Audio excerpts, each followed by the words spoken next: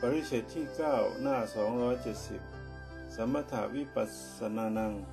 ภาวนานมิโตปรัง กรรมฐานังภวขามิ ทุวิธรรมปิยชากมัง ข้าพเจ้านุชาจารย์จักกล่าวกรรมฐานสองประการโดยลำดับเบื้องหน้าแห่งสมถภาวนาและวิปัสสนาภาวนา จากวินิจฉัยในสมถะสังฆาก่อน สมถะสังฆานั้นจัดกรรมฐาน 40เป็น7หมวด คือกสิน10หมวดหนึ่งอสุภะ10หมวดหนึ่งอนุสติ10หมวดหนึ่งอปมัญญา4หมวดหนึ่งอาหารเรปฏิคูลสัญญาหนึ่งหมวดหนึ่งธาตุวัตธาตุววัฏฐานหนึ่งหมวดหนึ่งอรูปสี่หมวดหนึ่งเป็นเจ็ดหมวด ในจริตสังฆะจัดเป็นกรรมฐานตามจริตมีหกคือ ราคะจริตหนึ่งโทสะจริตหนึ่งโมหะจริตหนึ่งสัทธาจริตหนึ่งพุทธิจริตหนึ่งวิตกจริตหนึ่งเป็นจริตหกจัดตามภาวนาเป็นสามคือ ปริกรรมภาวนาหนึ่งปจาระภาวนาหนึ่งอัปปนาภาวนาหนึ่งจัดตามนิมิตเป็นสามคือ ปริกรรมนิมิตหนึ่งบุค่านิมิตหนึ่งปฏิภาณนิมิตหนึ่งเป็นสามถามว่าสมถะกรรมฐาน 40 คือสิ่งใดบ้าง ตอบว่าสมถะกรรมฐาน 40 นั้นมีกสินสิบคือปฐวีกสินหนึ่งอาโปกสินหนึ่งเตโชกสินหนึ่งวายโยกสินหนึ่งนินละกสินหนึ่งปีติกะกสินหนึ่งปีติปีตกะสินหนึ่งโลหิตะกสินหนึ่งโอทาตะกสินหนึ่งอากาสะกสินหนึ่งอโลกะกสินหนึ่งปฐวีกสินนั้นทำด้วยดินมีสีแดง ดังแสงพระอาทิตย์แรกอุทัยเป็นวงกลมกว้างคืบหนึ่งกับสีนิ้ว ขัดให้ราบดังหน้ากองบริกรรมว่าปฐวีปฐวีปฐวีปฐวี อาโปกสินนั้นเอาน้ำที่ใส่ตักใส่ภาชนะมีบาทเป็นต้นให้เต็มถึงขอบบริกรรมว่าอาโปอาโปอาโปเตโชกสินนั้นทำด้วยแสงเพลิงเอาวัตถุมีเสือลำแพนเป็นต้น มาแหวกช่องเป็นวงกลมกว้างหนึ่งคืบสี่นิ้ว นั่งดูแสงเพลิงตามช่องนั้นพิจารณาเพลิงบริกรรมว่าเตโชเตโชเตโชวายโยกสินนั้นให้ดูผมคนดูผมคนเมื่อลมพัดถูกก็ได้หรือใบไม้และยอดหญ้าที่มีลมพัดบริกรรมว่าวายโยวายโยวายโย นีนลักษินนั้นทำด้วยผ้าสีเขียวผืนบนปาภาชนะก็ได้หรือดอกไม้สีเขียวก็ได้ประดับใส่ลงในภาชนะ ซ่อนก้านและเกสรเสือให้เห็นแก่กีบบริกรรมคำว่านีลังนีลังนีลังปีตะกสินนั้นทำด้วยผ้าเหลืองก็ได้ดอกไม้สีเหลืองก็ได้ทำเหมือนกับนีลกสินแล้วบริกรรมว่าปีตะกังปีตะกังปีตะกัง โรหิตกสินนั้นทำด้วยผ้าสีแดงก็ได้ดอกไม้สีแดงก็ได้บริกรรมว่าโรหิตกัง โรหิตกังโรหิตกัง อากาศกสินนั้นให้ดูช่องที่กลมกว้างหนึ่งคืบสี่นิ้วเอาอากาศเป็นอารมณ์บริกรรมว่าอากาโซอากาโซกาโซวิฉะนั้นถ้าได้กสินทั้งเก้าแล้วเพิกกสินทั้งเก้าออกเสียเอาอากาศเป็นอารมณ์บริกรรมว่าอากาโซอากาโซอากาโซ โอทาตะกะสินนั้นทำด้วยผ้าขาวก็ได้ดอกไม้ขาวก็ได้บริกรรมคำว่าโอทาโตโอทาโตโอทาโตอาโลกากสินนั้นให้ดูแสงไฟอันสว่างออกจากช่องอันใดอันหนึ่งก็ได้ หรือดูแสงสว่างแห่งดวงอาทิตย์ดวงจันทร์ก็ได้บริกรรมว่าอารโกอารโกอารโกอสุภาษิตคืออุทุมาตะกังอสุภะตายพองขึ้นหนึ่ง วินีลกังอสุภะเน่ามีสีเขียวดำผ้าเขียวหนึ่ง วิปุปกังอสุภะทองน้ำเหลืองไหลในเบื้องบนเบื้องต่ำหนึ่ง วิชิตตะกังอสุภะอันบุคคลตัดขาดในท่ามกลางหนึ่ง วิขายิตกังอสุภะอันสัตว์กัดกินมีแผลวินวะต่างๆหนึ่งวิคิตตะกัง อสุภะที่ขาดออกจากกันทิ้งเรียราดในป่าช้าหนึ่งหาตะวิคิตกัง อาสุภะที่เขาสับฟันเป็นริ้วๆเป็นรอยหนึ่ง โรหิตกัง อาสุภะต้องประหารมีโรหิตออกไหลอาบไปหนึ่งบูรุวกัง อาสุภะมีหนอนคลานออกจากทวารทั้งเก้าหนึ่ง อัฐิกังอสุภะมีแต่ร่างกระดูกเรียรายไปต่างๆหนึ่ง แสดงอสุภะสิบย่อไว้เพียงเท่านี้ อนุสติสิบโดยย่อ พุทธานุสติระลึกถึงพระพุทธคุณตั้งแต่ปณิธานโต ปณิธานะโต ปัฏฐายะเป็นต้นไปธรรมานุสติระลึกถึงคุณพระธรรมมีคำว่า นิญญานิโกสวะฆาโตภควตาธรรมโมเป็นต้น สังขานุสติระลึกถึงคุณพระอริยสงฆ์คำว่าสุปฏิปันโนเป็นต้นไปที่ลานุสติระลึกถึงศีลห้าศีลแปดศีลสี่ที่ตนรักษาว่า อาคันธานิสีลานิ สุรกิตานิ เป็นต้น จากคนุสติเริ่มถึงทานที่ตนบริจาคว่า มุตตะจาโค เป็นต้น เทวตานุสติเริ่มถึงเทพยดาที่มีศีลและทิฏฐิคุณเอาเป็นพยานว่า สั้นตินเทวตาจะตุมหาราชิกาเป็นต้น อุปสมนุสติเริ่มถึงพระนิพพานอันดับทุกว่า เอตังสั้นตังนิพพานังเป็นต้น มรณานุสติเรื่องถึงความตายทั่วโลกตลอดถึงตนเองว่ามรณงเมภวิสติ เป็นต้น กายคตาสติเรื่องถึงกายในกายคือเจริญอาหาร 32 และเจริญอาการ 32 ตามเบียบที่ท่านปลูกไว้เป็นลำดับ อนาปนาสติเรื่องถึงลมหายใจเข้าหายใจออกเอาสติปลูกจิตใจในเสาประโคนคือลมหายใจนั้น จบอนุสติสิบโดยย่อ อัปปมัญญาสีบางทีท่านเรียกว่าพรหมิหารที่เรียกว่าอัปปมัญญานั้นเพราะแผ่ไปในสัตว์ทั้งหลายมากจนประมาณไม่ได้ ที่เรียกว่าพรหมิหารนั้นเพราะทำสี่อย่างนี้เป็นที่สำราญอยู่ของพวกพรหม อัปปมัญญาสี่คือเมตตาหนึ่งกรุณาหนึ่งมุทิตาหนึ่งเบกขาหนึ่งแผ่เมตตาพรหมิหารว่าสัตว์ทั้งปวงมีลมหายใจเข้าออกเกิดแล้วนับว่ามีอัตภาพร่างกายเป็นอายะก็ดีมีได้เป็นอายะก็ดีเป็นธรรมดามนุษย์ครุฑนาควินิบาตอสุรกายก็ดีมีจิตก็ดีไม่มีจิตก็ดีบรรดา มีชีวิตอันอยู่ในทิศเบื้องบนถึงอาการนิถาพรมในเบื้องต่ำในอเวจีมหานรกในเบื้องขวางทิศทั้งแปดตลอดไปในอาเนกแสน โกฏจักรวาลอย่าได้มีเวรแก่กันและกันเลย อย่าได้พยาบาทอาฆาตแก่กันเลย อย่าได้มีทุกข์โศกเลย อย่าได้มีโรคภัยเลย จงมีอายุยืนนานเถิดจงสำเร็จซึ่งสมบัติทั้งปวงเถิดจงรักษาตนให้เป็นสุขพ้นไปจากทุกกายทุกใจอันเป็นภัยในวัฏสงสารทั้งปวงเถิดเมตตาปมัญญาสร้างเขตไว้เพียงเท่านี้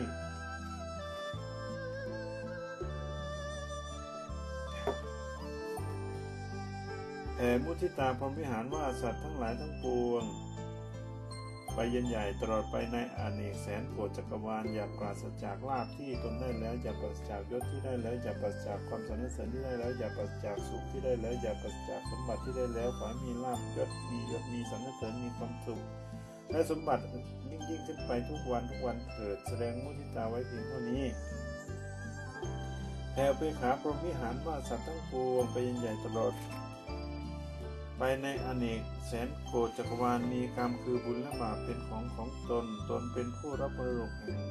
กรรมคือบุญและบาปมีกรรมคือบุญและบาปเป็นกำเนิดมีกรรมคือบุญและบาปเป็นเผ่าพันมีกรรมคือบุญและบาปเป็นที่พึ่งจะกระทำกรรมใดเป็นบุญก็ดีเป็นบาปก็ดีจะเป็นผู้รับผลของกรรมนั้น แสดงออกไปขาวไว้เพียงเท่านี้ ยุติแสดงพรหมวิหารสี่อาหารเรปฏิคูลสัญญานั้น พระโยคาวจรพิจารณาอาหารโดยปฏิกูลจัดเป็นกรรมฐานชื่อว่าสัญญากำหนดหมายพิจารณาให้เห็นเป็นสิ่งปฏิกูลข้อหนึ่งธาตุววัฏฐานนั้นพระยาโคจรพระยาพระพระโยคาวจรพิจารณาธาตุทั้งสี่มีปัจจบีธาตุเป็นต้นในกรัชกาย โดยอาการไม่ใช่สัตว์ไม่ใช่ชีวิต เป็นกรรมฐานเรียกว่าธาตุววัฏฐานประการหนึ่ง อรูปสี่คืออากาสานัญจายตนะหนึ่งวิญญาณัญจายตนะหนึ่งอาจินจัญญายตนะหนึ่งเนวาสัญญานาสัญญายตนะหนึ่งการเจริญอรูปกรรมฐานสี่ได้กล่าวแล้วในปริเชตที่หนึ่งแสดงกรรมฐานสี่สิบไว้เพียงเท่านี้ สมถะสังฆะมีสามแบบมีประเภทสามคือ สัมปายะประเภทหนึ่งภาวนาประเภทหนึ่งโคจรประเภทหนึ่งอสุภาสิบกายคตาสติหนึ่ง เป็นที่สบายแห่งราคะจริต อัปปมัญญาสี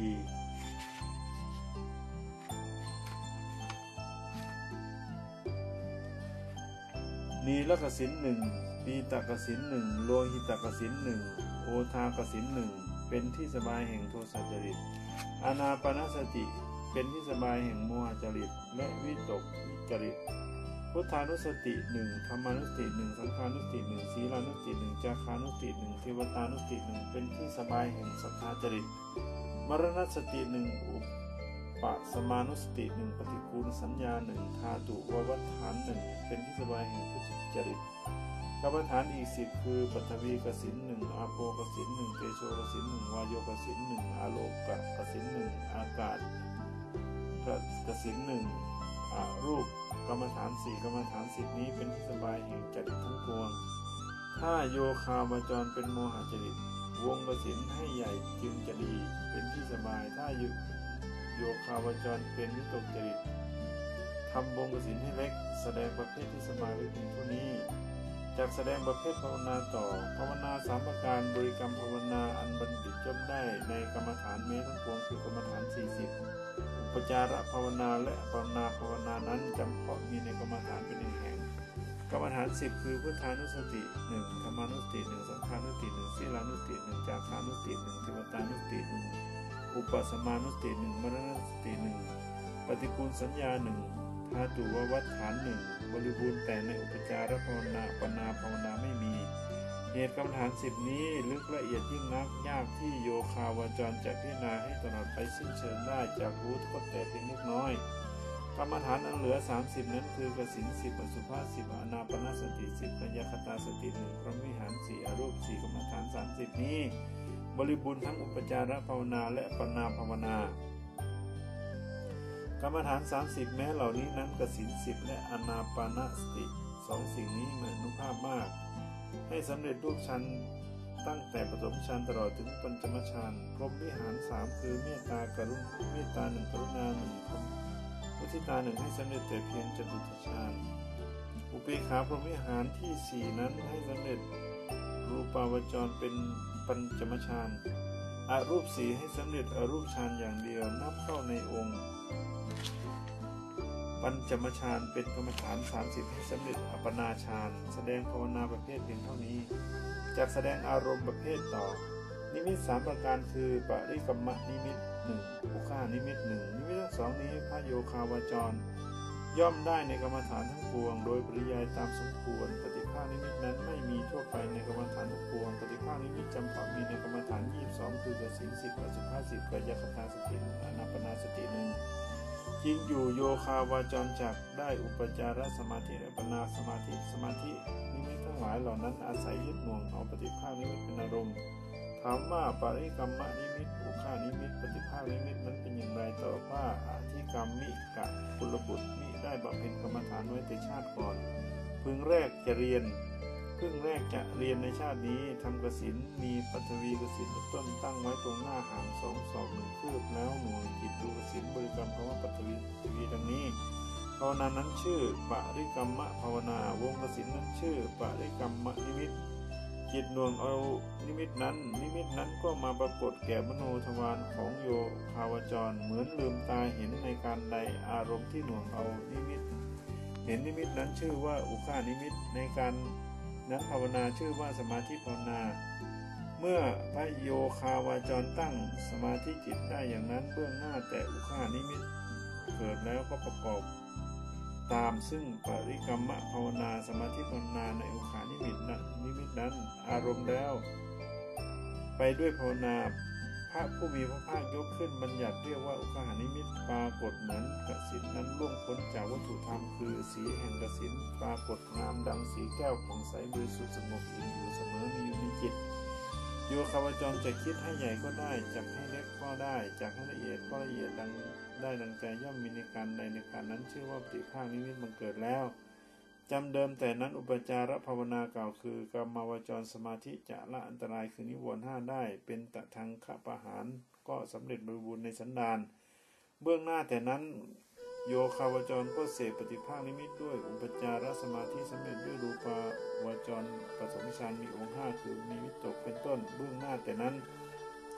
โยคาวจรก็ทำปฐมฌานให้ชำนาญด้วยวสีทั้งห้าคือชำนาญในการพิจารณาเมื่อจะเข้าฌานหนึ่ง ชำนาญเข้าสู่ฌานหนึ่งชำนาญที่จะตั้งฌานให้มั่นมิให้คลาดเคลื่อนจากกำหนดหนึ่งชำนาญที่ออกจากฌานหนึ่งชำนาญที่นาองค์องค์ฌานเมื่อจะออกหนึ่งขั้นทำปฐมฌานให้ชำนาญแล้วก็ทำความเพียรละเสียซึ่งองค์อันหยาบมีวิตกเป็นต้นตั้งไว้ซึ่งความเพียรเพื่อจะให้เกิดองค์อันสุขุมมีวิจารณ์เป็นต้นจึงเข้าสู่ฌานทั้งหลายมีทุติยฌานเป็นต้น โดยลำดับตามทุกควร ปฏิภาณนิมิตนั้นโยคาวจรได้ในการเจริญกรรมฐาน22ประการคือสินสิบอสุภาสิบปัจจคตาสติหนึ่งอนาปนาสติหนึ่งดังแสดงมาด้วยประการชนี้กรรมฐานอันเหลือจากกรรมฐานที่กล่าวมาแล้ว อัปปัญญาอัปมัญญาสีนั้นยึดหน่วงเอาสัตตบัญญัติเป็นอารมณ์แม้กสินทั้งหลายเก้ายกอากาศกสินเสียกสินอันใดอันหนึ่ง อัญโยคาวาจรได้แล้ว เหตุเพื่อกสินเสียเพื่อทำอากาศเปล่าเป็นอารมณ์ บริกรรมว่าอากาศไม่มีที่สิ้นสุดอากาศไม่มีที่สิ้นสุดอากาศไม่มีที่สิ้นสุด โยคาวจรก็อาจเข้าสู่อรูปฌานเป็นปฐมได้ เมื่อโยคาวจรกำหนดปฐมปัทมารูปจิตเป็นอารมณ์ทำบริกรรมว่าวิญญาณไม่มีที่สิ้นสุดวิญญาณมีที่สุด โยคาวโยคาวจรก็อาจเข้าสู่ทุติยรูปฌานที่สองได้ เมื่อโยคา วจรปรารถนาจะเข้าสู่ตติยรูปตติยารูปฌานทำกำหนดจิตว่าปัทมารูปวิญญาณไม่มีแล้วเป็น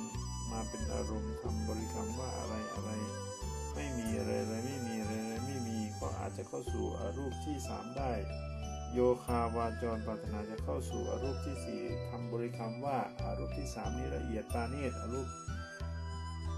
อารูปที่สามนี้ละเอียดปานีตอารูปที่สามนี้ละเอียดปานีตก็อาจเข้าสู่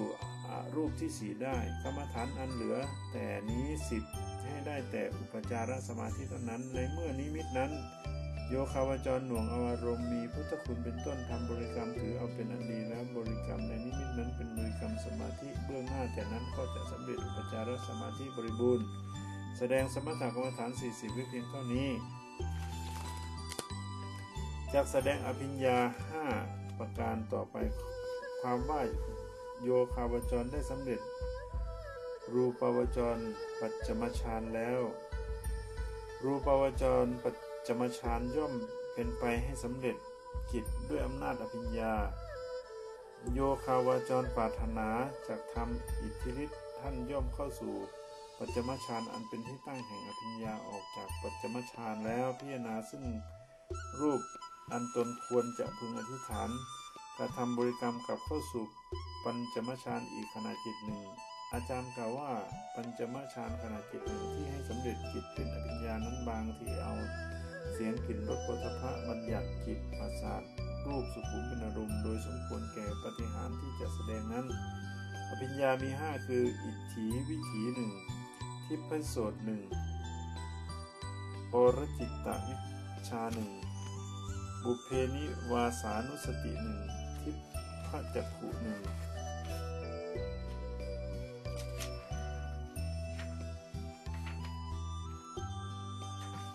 สำแดงประเภทแห่งอารมณ์ในสมถกรรมฐานด้วยเพียงเท่านี้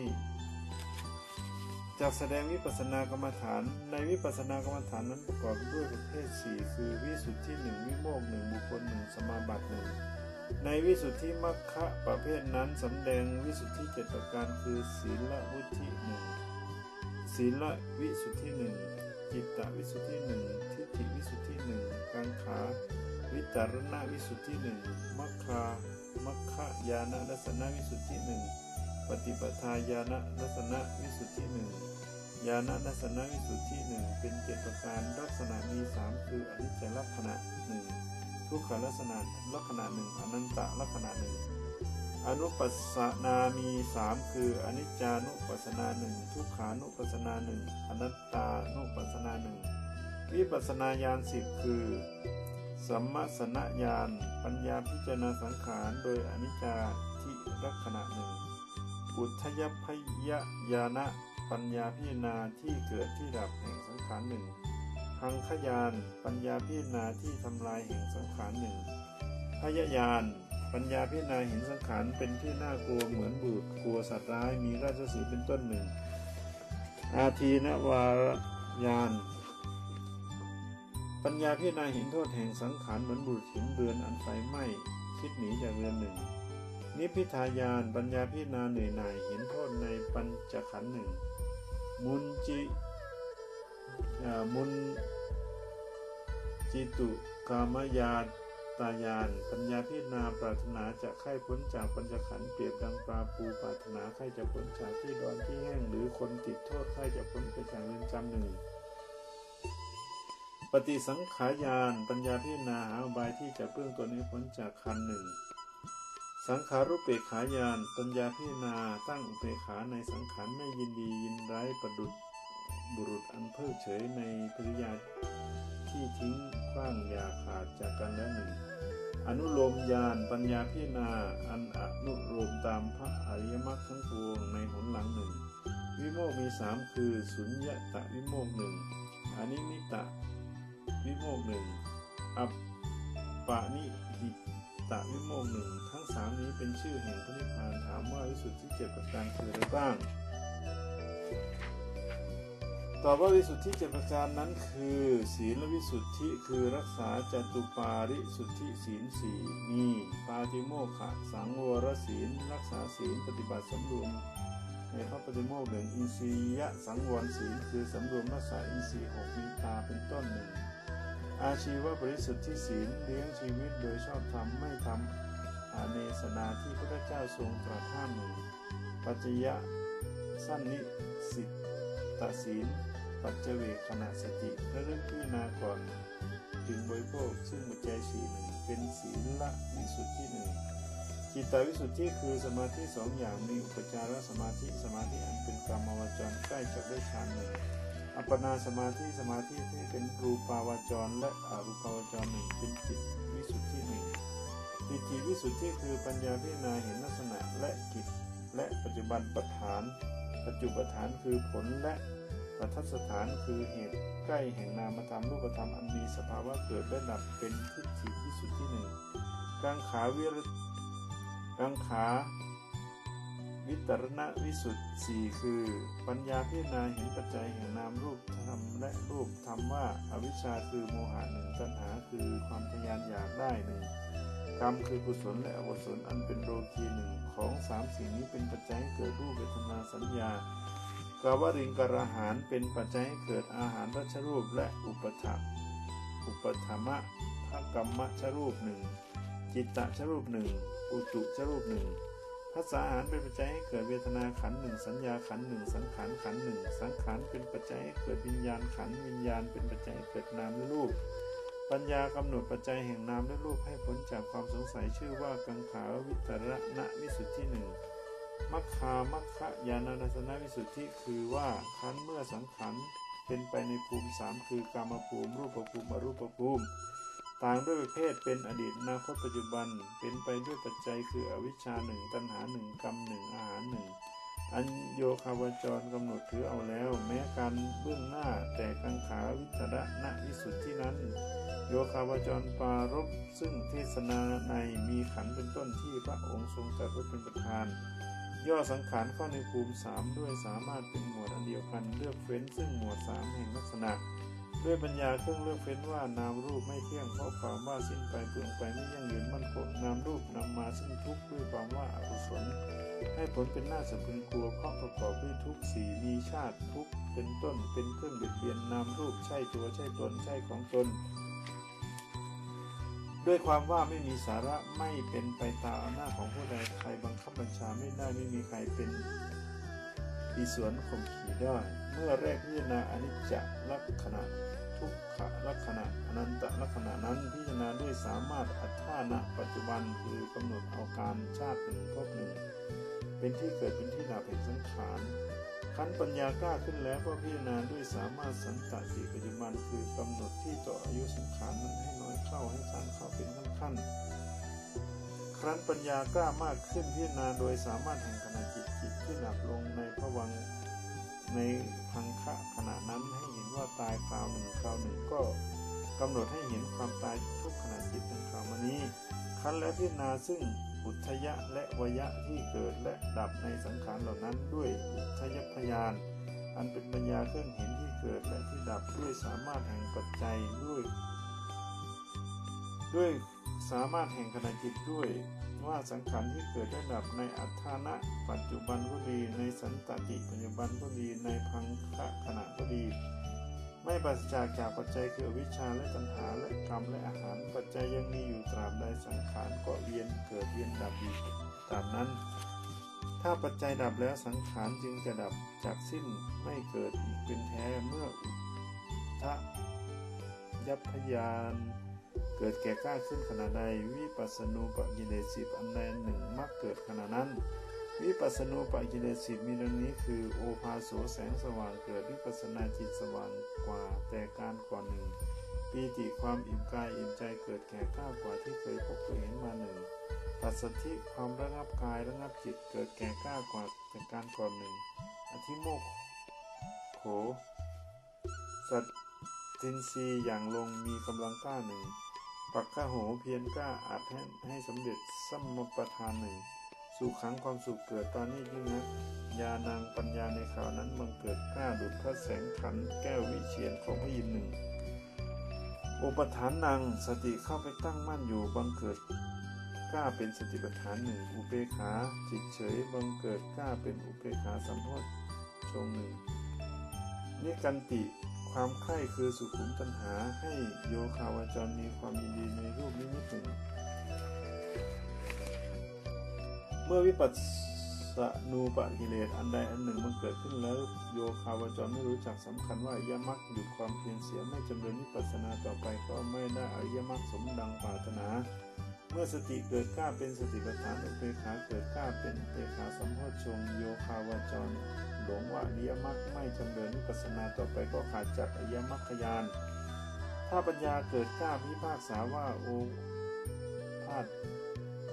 เป็นต้นนี้เป็นวิปัสสนูปกิเลสมิใช่พระอริยมรรควิปัสนาจิตที่เป็นประพฤติเป็นไปในวิปัสนาวิถีคงจะเกิดขึ้นถึงอริยมรรคเมื่อรู้ชัดชนี้แล้ว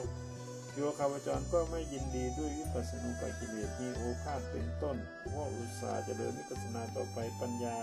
พิพากษารู้ว่ามรรคและมิใช่มรรคดังนี้ชื่อว่ามรรคขยายานลักษณะวิสุทธิหนึ่งปฏิปทาญาณทัศนวิสุทธินั้นได้แก่วิปัสนาญาณก้ามีอุทะยับอุทะยับพยายานเป็นต้นมีอนุโลมมยานเป็นที่สุดหนึ่งเมื่อโยคาวจรพ้นแล้วจากตรายคือวิปัสสนูปกิเลสิบอุสา ปฏิบัติไปโดยลำดับแห่งวิปัสสนาด้วยไตรลักษณะสามมีอนิจจลักษณะเป็นต้นจำเดิมแต่อุทยพยญาณจนมาถึงอนุโลมญาณเป็นที่สุดชื่อว่าปฏิปทาญาณทัศนวิสุทธิหนึ่งญาณวิสญาณทัศนวิสุทธินั้นว่าเมื่อโยคาวจรแม้ปฏิบัติอยู่อาศัยการสุข รอบคือความแก่กล้าแห่งปัสนาอันควรจะกล่าวว่าอัปปนาจิตคืออริยมรรคจะควรเกิดขึ้นในการนี้ มโนทวารวชนะจิตตัดกระแสแห่งภวังแล้วบังเกิดขึ้น ในต้นแห่งมรรคะวิถียานสัมยุตตะกามาวจะวชนะเป็นปัจวิปัสสนาจิต ทั้งหลายบางทีก็ยึดหนึ่งเอาอันนี้จะลักษณะบ้างทุกขังลักษณะบ้างนันตะลักษณะบ้าง เป็นอารมณ์ให้สำเร็จจิตขจัดกิเลสอย่างหยาบอย่างกลางอย่างละเอียดแล้วเกิดขึ้นสองขณะบ้างสามขณะบ้าง โดยชื่อว่าปริกรรม อุปจาระอนุโลมสมควรแก่อริยบุคคลที่เป็นพัญญาพิญญาและคิปาพิญญา ที่เป็นพัญญาพิญญานั้นมันเกิดสามขณะคือบริกรรมขณะหนึ่งอุปจาระขณะหนึ่งอนุโลมขณะหนึ่งที่เป็นคิปาพิญญานั้นมันเกิดสองขณะเป็นจาระขณะหนึ่งอนุโลมขณะหนึ่งวิปัสนาจิตอันใดถึงแล้วซึ่งยอดมีกำลังกล้าเป็นยอดแห่งวิปัสนาวิปัสนาจิตนั้นอาจารย์ท่านเรียกว่าอนุโลมญาณบ้าง สังขารุปเปขายานบ้าง วุฒานะคามินีวิปัสนาบ้างเบื้องหน้าแต่อนุโลมญาณยานเกิดแล้วนั้นโคตรภูจิตจึงหน่วงเอาพระนิพพานเป็นอารมณ์ครอบงำเสียซึ่งปุถุชน โคตรด้วย ยังจิตให้ไปสู่อริยะโคตระด้วย สู่ความตรัสรู้ด้วยมรรคจิตอันเกิดเป็นโลกุตระมีนิพพานเป็นอารมณ์จะบังเกิดในลำดับแห่งโคตรภูจิต โคตรภูจิตนั้นเป็นกำหนด นั้นกำหนดรู้ซึ่งทุกขสัตว์และสมุทัยสัตว์กระทำนิโรธให้แจ้งอย่างลงสู่อัปปนาวิถีด้วยสามารถเจริญมรรคสัตว์เบื้องหน้าแต่มัคคาจิตเกิดขึ้นแล้วนั้นผลจิตมีนิพพานเป็นอารมณ์มันเกิดขึ้นสองขณะบ้างสามขณะบ้างแล้วจึงตกลงสู่ภวังถ้าเป็นคิดมาพิญญาบุคคลผลจิตเกิดสามขณะแล้วตกลงสู่ภวังลำดับนั้นมโนทวารวชนะจิตจึงตัดภวังค มันเกิดขึ้นในเบื้องต้นแห่งปัญจเวคขณะญาณคือสัมปยุตตะกามาวจระชวนะกามาวจรวัชมนะกามาวจรชวนะบังเกิดขึ้นในลำดับแห่งมโนทวารวชนะพิจารณาซึ่งมรรคธรรมผลธรรมนิพพานธรรมที่ตนได้อริยบัณฑิตพิจารณามรรคธรรมผลธรรมนิพพานธรรม มีทั่วไปในสันดานทุกองค์ การที่พิจารณากิเลสอันตนละแล้วและยังเหลืออยู่นั้น บางองค์ก็พิจารณาบางองค์ก็ไม่พิจารณาอริยมรรคสี่อย่างพระยาเจ้าเจริญตามลำดับวิสุทธิหกมีศีลวิสุทธิเป็นต้น มีปฏิปทาญาณทัศนวิสุทธิเป็นที่สุดท่านเรียกว่ามรรคชื่อว่าญาณทัศนวิสุทธิหนึ่งแสดงประเภทวิสุทธิเจ็ดไว้เพียงเท่านี้ ขึ้นวิโมกมุตสาม พระโยคาวจรเจริญอนันตลคณะปรงปัญญาเห็นว่าขังขานใช่ตัวใช่ตนใช่ของของตนละเสียซึ่งอัตตาพินิเวศคือทิฏฐิถือว่าเป็นตัวเป็นตนเป็นของของตนเป็นอุบายของธรรมเครื่องพลิเศษ คือมรรคผลวิโมกเหล่านั้น ชื่อว่าสุญญตานุปัสสนาอนิจจอนิจจานุปัสสนาคือพระโยคาวาจรเจริญอนิจจลักษณะปรงปัญญาเห็น ว่าสังขารไม่เที่ยงละเสียซึ่งวิปาราสนิมิต คือเหตุที่หลงว่าเที่ยงว่างามว่าดีเป็นอุบายเครื่องพ้นวิเศษมรรคผลชื่อว่าอนิมิตานุปัสนา ทุกขานุปัสนาคือพระโยคาวาจรปรงปัญญาเห็นว่าสังขารอาภูมด้วยทุกขภัยและเสียซึ่งความตั้งโทษของตัณหาคือความโลภรักมนุษย์สมบัติ วรรค์สมบัติก็เป็นอุบายเครื่องพ้นวิเศษคือมรรคผลชื่อว่าอัปปานิหิตานุปัสนาเพราะเหตุนั้นวุฒานะคามินีวิปัสสนาคืออนุโลมญาณถ้าว่ายุดหน่วงเอาทุกขลักษณะเป็นอารมณ์เป็นมรรคชื่อว่าอัปปนิหิตวิโมก มรรคได้ชื่อว่าสามอย่างด้วยอำนาจแห่งอันมาของวิปัสสนานานี้อายะผลบังเกิดในมรรควิถีสองขณะบ้างอย่างที่กล่าวมาแล้วพระผู้มีพระภาคทรงตรัสเรียกชื่อแห่งอายะผล ด้วยสามารถที่มาแห่งมรรคถ้ามรรคชื่อว่าสุญญตาวิโมกผลที่เกิดเรียงขณะแห่งมรรคนั้นก็ชื่อว่าสุญญตาวิโมกเหมือนกัน ถ้ามรรคชื่อว่าอานิมิตาวิโมกและอัปปะ นิหิตาวิโมกผลก็ชื่อว่าอานิมิตาวิโมกและอัปปนิหิตาวิโมกเหมือนกัน ในการเมื่อพระยาเจ้าเข้าสู่ผลสมบัติอายะผลแม้บังเกิดขึ้นได้นามตามที่ชื่อแห่งวิปัสนาจิต โดยในที่กล่าวบังเกิดขึ้นเป็นปริกรรมชวนะ อุปจารชวนะอนุโลมชวนะในต้นแห่งผลสมบัตินั้น ถ้าจิตในต้นแห่งผลสมบัติ พิจารณาอนันตลักษณะเป็นอารมณ์ ผลสมบัตินั้นก็ชื่อว่าสุญญตาวิโมกถ้าวิปัสนาจิตในต้นผลสมบัติพิจารณานิจจลักษณะทุกขลักษณะเป็นอารมณ์ ผลสมบัตินั้นก็ชื่อว่าอานิมิตะวิโมกอัปปะนิหิตะวิโมกด้วยสามารถอันมาของวิปัสนาชนีหมวดสามแห่งนามคือวิโมกสามประการมีทั่วเสมอแก่มรรคจิต ลจิตทั้งปวงบ้าง แก่ผลจิตในมรรควิถีในสมบัติวิถีทั้งปวงบ้าง ด้วยสามารถแห่งอารมณ์บ้าง ด้วยสามารถจิตแห่งตนบ้าง แสดงวิโมกประเภทเพียงเท่านี้ ขึ้นบุคคลประเภทพระอริยบุคคลเหล่านั้นเพียรมาเป็นสมถะวิปัสสนากรรมฐานได้บรรลุโสดาปฏิมัคคยานตัดอกุศลจิตเด็ดขาดสามดวงคือโลภมูลโสมนัสสทิฏฐิสัมปยุตตะสองดวง วิจิกิจฉาสัมปยุตตะหนึ่งดวงเป็นสามดวง โสมนัสสทิฏฐิวิปยุตตะสองดวงและอุเปขาทิฏฐิสัมปยุตตะสองทิฏฐิวิปยุตตะสองเป็นสี่ดวงละโทสะมูลสองได้ แต่ที่หยาบที่อย่างกลางอย่างละเอียดขจัดยังไม่ได้ โมหะอุทธัจจะแม้ขจัดยังไม่ได้ แต่ไม่อาจนำมาปฏิสนธิได้เพราะเหตุนั้น พระโสดาบันจึงไม่ไปสู่อบภูมิสี่จะเกิดในมนุษย์ในเทวดาอีกเจ็ดชาติเป็นธรรมดา พระโสดาบันเพียรเจริญวิปัสสนาได้บรรลุถึงสกิทาคามิมักชื่อสกิทาคามิบุคคล เพราะมีราคะทุสามวะอันเบาบางน้อย ลงจากมาปฏิที่ในกรรมโลกอีกชาติเดียว เมื่อท่านเจริญวิปัสสนาได้อนาคามิมักชื่ออนาคามิบุคคล เพราะท่านละกามราคะและพยาบาทขาดสิ้นไม่มีเศษ และละโทสจิตสองดวงที่อยากได้กลับขันสิ้นชีพแล้วไปเกิดในภูมิโลกชั้นทาวาสไม่กลับมาสู่สามโลกอีก เมื่อพระโยคาวาจรเจริญปัสนาได้บรรลุถึงพระรหันต์แล้ว เพราะละเสียซึ่งกิเลสไม่เศษเหลือไม่เหลือเศษโลก โลภะมูลที่เป็นปิถีวิปะยุตตะสีและโทสะมูลสองที่ละเอียดกับทุจจะ พระอรหันตันขาดจากสันดานประเสริฐด้วยอรหันตผลวิมุตติ เป็นพระขีณาสพทักกินยะบุคคลอันเลิศในโลก แสดงบุคคลแค่เพียงเท่านี้ ผลสมาบัติในกรรมฐานนี้ไม่เป็นสาธารณะทั่วไปแม้พระอริยบุคคลทั้งปวงด้วยสามารถแห่งผลของตัวเป็นอย่างไรคือไม่ปะระคนกันเป็นที่ที่เป็นโสดาบันก็จำเพาะทั่วไปในโสดาบันที่เป็นสกิทาคามีอนาคามีพระอรหันต์ ก็จำเพาะทั่วไปในสกิทาคามีอนาคามีพระอรหันต์การที่จะเข้าสู่นิโรธสมบัตินั้นมีสองจำพวกคือพระอนาคามีจำพวกหนึ่งพระอรหันต์จำพวกหนึ่งนอกนั้นเข้าสู่นิโรธสมบัติไม่ได้ พระอนาคามีพระอรหันต์สุขวิปัสสกะได้แต่ปฐมฌานสิ่งเดียวไม่ได้สมบัติพร้อมทั้งแปดก็เข้านิโรธไม่ได้ เพราะนิโรธสมบัตินั้นเป็นนวานุ บุพวิหารสมบัติต้องเข้ารูปฌานสี่รูปฌานสี่จึงจะเข้าสู่นิโรธสมบัติได้ ผู้ที่จะเข้าสู่นิโรธสมบัตินั้นต้องเข้าสู่ มหาคตะฌานตั้งแต่ปฐมฌานขึ้นไปจนถึง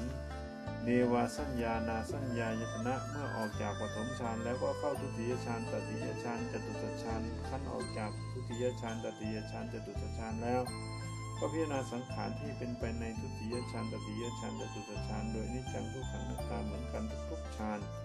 ขันออกจากรูปสมบัติแล้วก็เข้าสู่อรูปสมบัติคืออากาสานัญจายตนะหนึ่งวิญญาณัญจายตนะหนึ่งอาจินจัญญายตนะหนึ่งเจริญวิปัสสนากำกับไปทุกๆฌานแล้วออกจากอาจิน จัญญายตนะเบื้องหน้าแต่ออกจากอรูปที่สามแล้วจากนั้นก็ทำบุคกิจมีกระทำอธิษฐานกุฏิวิหารและเครื่องบริการ ทีนี้ที่เนื่องด้วยตนให้ปราศจากภัยเป็นต้นเป็นบุคกิจ แล้วเข้าสู่อรูปสมบัติที่สี่คือเนวสัญญานาสัญญายตนะสองขณะจิต เบื้องหน้าแต่อัปปนาชวนะทั้งสองมีความสืบต่อแห่งจิตของพระ โยคาวจรนั้นก็ขาดลงระงับอยู่ไม่ได้บังเกิดสืบไปข้างหน้าแต่จริต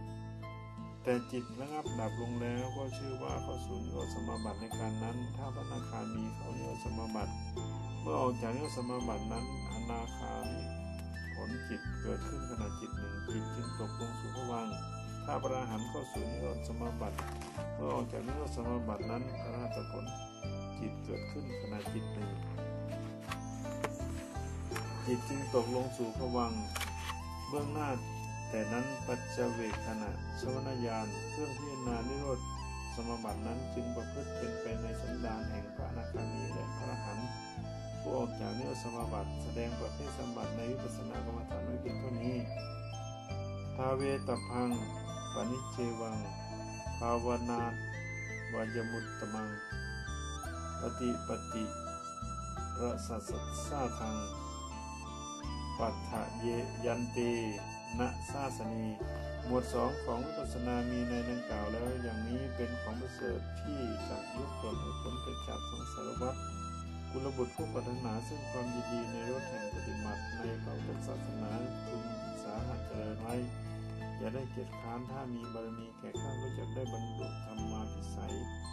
ถ้าบารมียังอ่อนอยู่ก็จะเป็นอุปนิสัยให้สำเร็จผลในภพข้างหน้าอิติอภิน อภิธรรม มัตสังฆเหกรรมท่านะสังขายวิภาโคนามะนะวโมปริเชโดจำแนกกรรมฐานสังฆาปริเศษที่ข้าเพียงเท่านี้